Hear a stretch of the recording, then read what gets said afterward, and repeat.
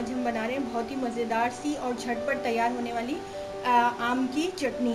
खट्टी मीठी चटनी होगी। हमने जो है इसके लिए जो जो अज्जा लिए हैं, उसमें आम लिए हैं, लाल मिर्च है, पिसी हुई नमक है, हरी मिर्ची हैं और प्याज है और हमने आम लिए हैं। हमने इस इस साइज़ के दो आम लेके उसका पल्प निकाल लिया। ठीक है? एक हमने प्याज ली है इस साइज़ की। ठीक है? इस साइज़ की और इसको जो है हमने चॉप कर लिया है। अंडे की, जैसे हम अंडा बनाने के लिए अपनी प्याज काटते हैं ना, वैसे का प्याज काटी है। मैंने दो ये छोटी हरी मिर्चों को काट लिया, आधी टी स्पून हमने लाल मिर्चों का पाउडर लिया, आधी टी स्पून से थोड़ा कम हमने नमक लिया ठीक है, अब हम इन सब चीज़ों को इसमें मिक्स करेंगे। हमारी झटपट सी आम की चटनी तैयार हो जाएगी।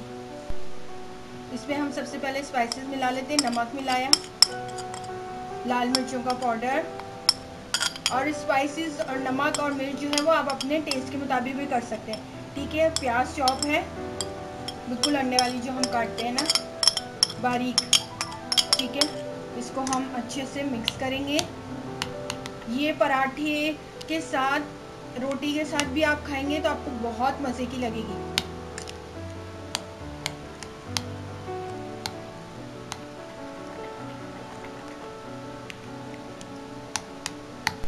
हमारी मज़ेदार सी झटपट आम की चटनी जो है वो तैयार है। इसको आप पराठे वगैरह के साथ इंजॉय कीजिएगा। मैं आपको सर्विंग कर देती हूँ। सर्विंग दिखा देते हैं आपको।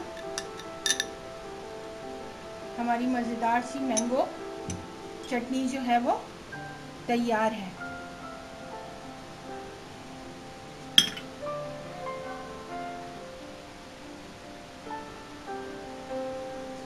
बहुत मज़ेदार बनती है, पराठे के साथ आपको बहुत लजी लगेगी। अगर ऐसे भी खाना चाहें तो आप स्पून से भी खा सकते हैं। Do subscribe to my channel thanks for watching take care अल्लाह हाफिज़।